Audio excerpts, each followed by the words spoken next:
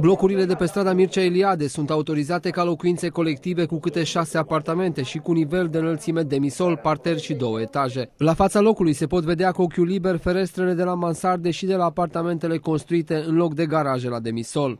Vecinii reclamă aglomerația care se va crea în zonă în lipsa garajelor în care locatarii să-și parcheze mașinile. În mod normal este ilegal, nu? Din moment ce nu mai sunt garaje. Sunt apartamente în loc de garaje.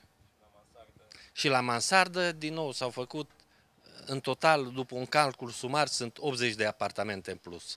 Și cum se va desfășura traficul în zonă? A fost, a, s-a avut în vedere acest lucru sau nu? Cred că acum DNA ar trebui să lucreze. Proprietarul unei case vecine spune că nu se opune blocurilor, dar că ar fi vrut să fie mai mici precum altele din zonă. Bun, s-a făcut în partea din sus.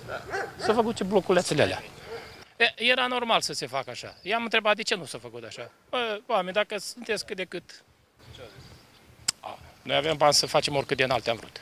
Investitorul susține că nu există mansarde și că vor fi parcări la demisol. Ce, ce sunt dacă nu sunt mansarde? Alea sunt poduri. E și parcări de desubt, chiar dacă sunt, chiar dacă au geamuri. Sunt parcări cu geamuri? Da.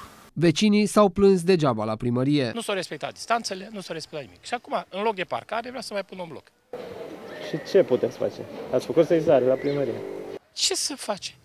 Când se ascund toate, nu se găsesc autorizații, nu se găsesc nimic. Reprezentanții primăriei au demarat un control la ansamblul imobiliar, care a mai fost amendat în luna decembrie pentru nereguli similare. Dacă există discordanțe între uh, autorizația emisă și vizată spre neschimbare și ceea ce s-a construit efectiv în teren, se vor lua măsurile legale prevăzute uh, de legea uh, construcțiilor, respectiv dispunerea intrării în legalitate prin respectarea autorizației de construire și probabil amendă, amenzile putând ajunge până la valoarea de 10.000 de lei. Amenda maximă de 10.000 de lei reprezintă doar o mică parte din prețul unui apartament care în zonă ajunge la 40.000 de euro.